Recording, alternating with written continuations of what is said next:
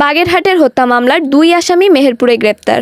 আপনারা দেখছেন আমিন টেলিভিশন, সাথে আছি আমি সাবরিনা ঐশ্বর্য বাগেরহাটের চাঞ্চল্যকর ধর্ষণ মামলার প্রধান সাক্ষী শামীম হাওলাদার হত্যা মামলার দুই পলাতক আসামি মোহাম্মদ হান্নান হাওলাদার ও আকব্বর হাওলাদারকে গ্রেপ্তার করেছে র্যাব ছয়। বুধবার সকাল সাড়ে আটটায় মেহেরপুর জেলার সদরের পিরোজপুর এলাকায় অভিযান চালিয়ে এই দুই আসামিকে গ্রেপ্তারের পর বিকালে বাগেরহাট জেলার সদর মডেল থানায় হস্তান্তর করেছে র্যাব। র্যাব জানায়, গত উনত্রিশে নভেম্বর বাগেরহাট সদর উপজেলার বড়বাসবাড়িয়া এলাকায় চাঞ্চল্যকর ধর্ষণ মামলার প্রধান সাক্ষী শামীম হাওলাদারকে কুপিয়ে গুরুতর আহত করে প্রতিপক্ষরা।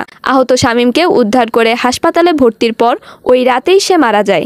এ ঘটনার পর নিহতের স্ত্রী বাদী হয়ে বাগেরহাট সদর মডেল থানায় একটি হত্যা মামলা দায়ের করেন।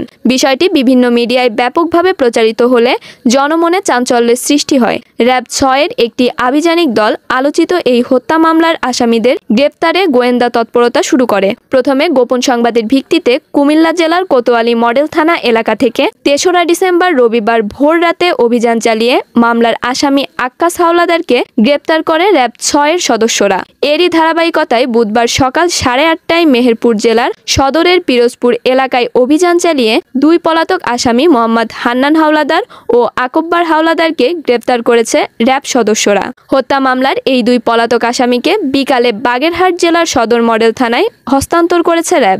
বিকেলেই তাদেরকে কোর্টে চালান দিয়েছে বলে জানান সদর মডেল থানার ভারপ্রাপ্ত কর্মকর্তা কে এম আজিজুল হক। এ নিয়ে এই মামলায় চার আসামি আটক হলো বলে জানিয়েছেন তিনি।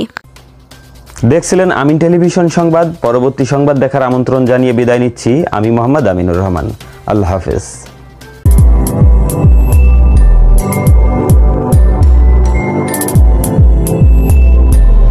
Amin television a trusted news media.